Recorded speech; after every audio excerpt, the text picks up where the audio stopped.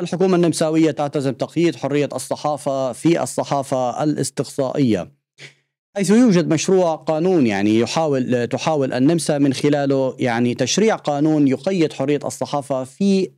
في جزئية التحقيقات الاستقصائية وتبادل المعلومات التح معلومات التحقيقات التي يستطيع المحامين الوصول إليها بملفات فساد معينه ويستطيعون تقديمها للإعلام يوجد يقال أن هناك يوجد قانون يحاول من خلاله يعني تحجيم تحجيم و, و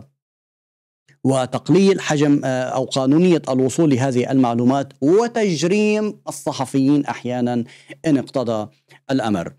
آه، طبعا الشيء بالشيء يذكر يعني مع الأسف تستمر انفوغرات آه، ب ب يعني في العمل على توسيع مدارك حرية الرأي والتعبير هنا في النمسا حيث تتعرض مرارا وتكرارا للعديد من الهجمات والعديد من الانتقادات والعديد من الادعاءات الكاذبة التي تحاول أن تقوض نشاطها وتقوض وصولها. آه،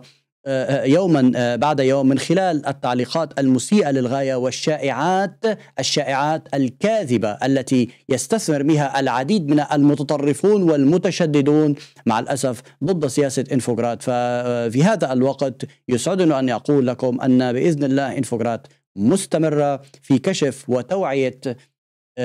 يعني في كشف العديد من الحقائق والأمور التي لا يستطيع أحد التطرق